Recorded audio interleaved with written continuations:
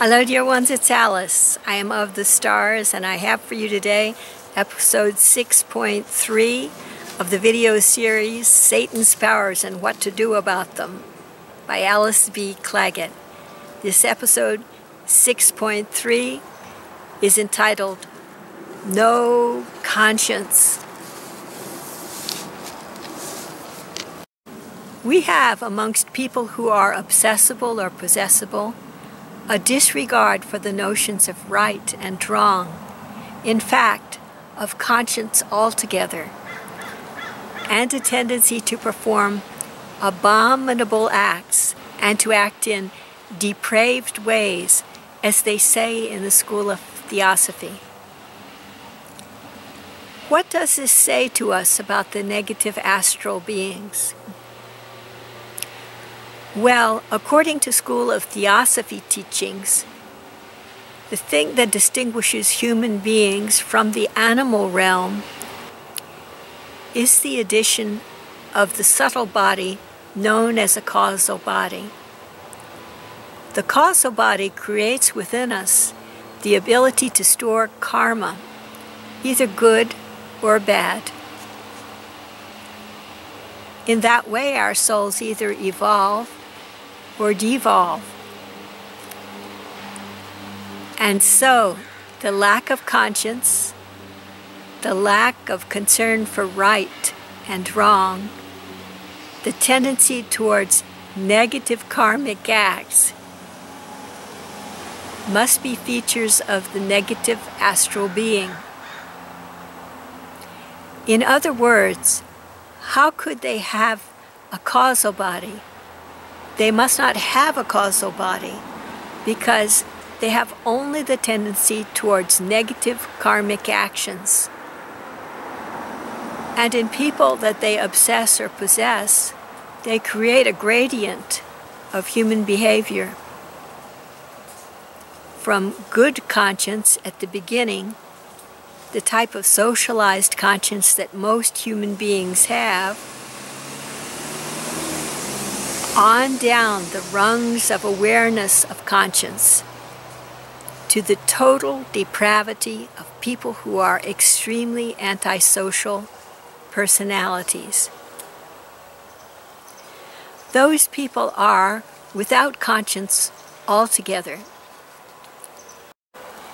They act in whichever way their reptilian minds lead them. That could account for the fact that negative astral beings are sometimes thought of in reptilian terms. Because the behavior of the negative astral being is rather like the reptilian behavior of the lower minds of human beings.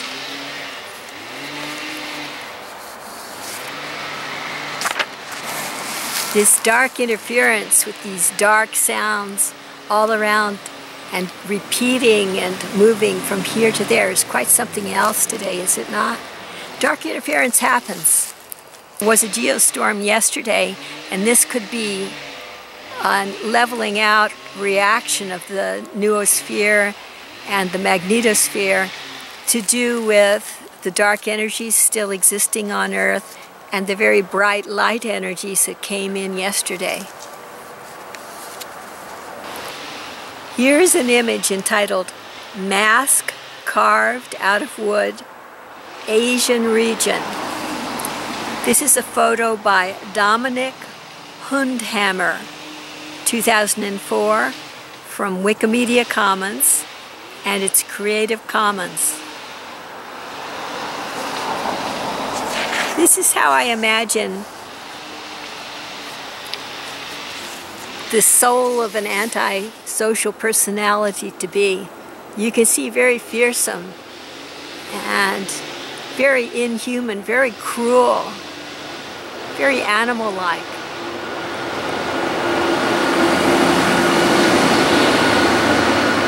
And I consider this to be the effect of invasion of by negative astral beings that obsess or possess our energy fields. Uh, this is This is the way they are in my understanding, and this is how our energy field comes to look through long association with them. Not that appealing, wouldn't you say?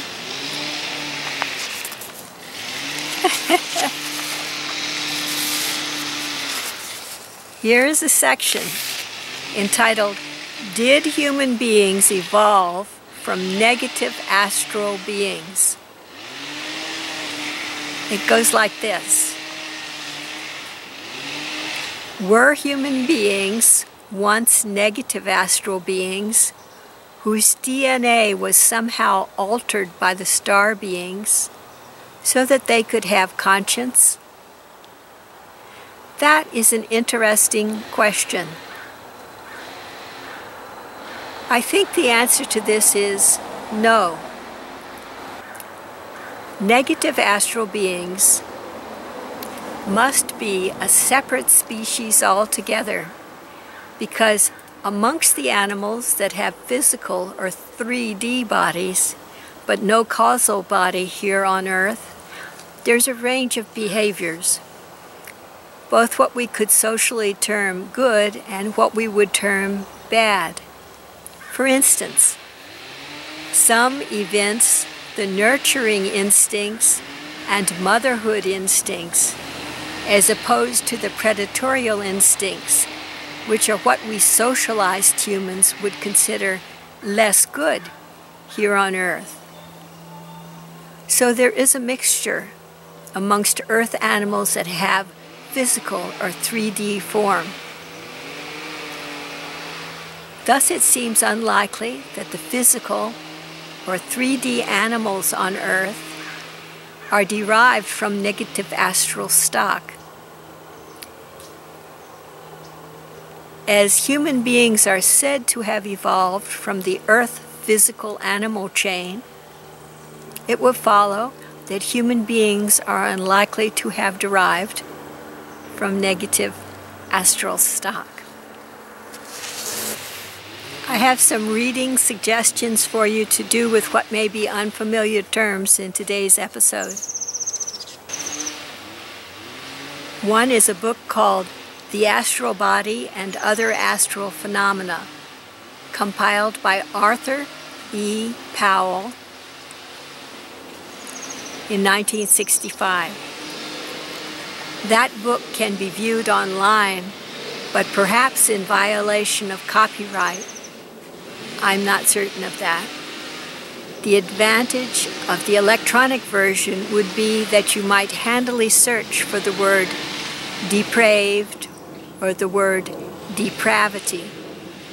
These words relate to the terms paraphilia and paraphiliac.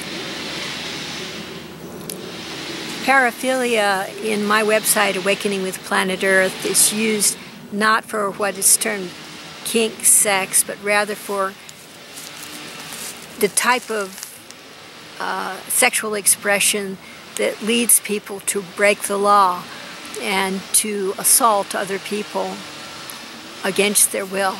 So I use it in a slightly different sense simply because I feel there ought to be a term for that.